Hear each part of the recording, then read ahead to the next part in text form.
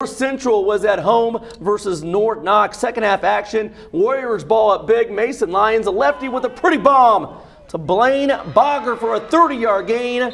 The North Knox offense would stall. North Central ball. Lane Hargis on the counter picks up a big chunk of yards for the T Birds. North Central still driving when the North Knox defense keeps their shutout intact with a forced fumble. Hunter Nonen lands on the ball for the Warriors.